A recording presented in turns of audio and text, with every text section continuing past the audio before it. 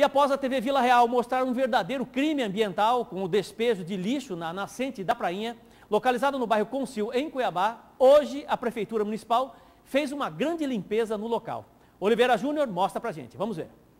Exatamente. Na semana passada nós fomos chamados aqui por moradores do bairro Concil, presidente do bairro, vários moradores, representantes aqui da comunidade, denunciando a, o lixo indiscriminado que é jogado aqui na nascente da prainha, poluição, é, entulho de construção, todo tipo de lixo.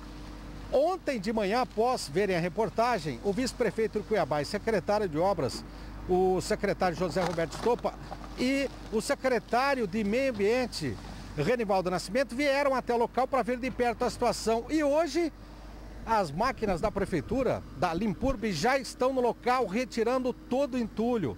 Você vê nas imagens do cinegrafista Valdir Moraes o trabalho que está sendo feito e que se repete há vários anos, porque a prefeitura vem, limpa, passa alguns dias, e infelizmente, alguns moradores, inclusive do próprio bairro, jogam o lixo de novo aqui, o entulho. E agora a prefeitura está refazendo esse trabalho e vai reforçar a fiscalização para coibir as pessoas que estão cometendo este verdadeiro crime ambiental.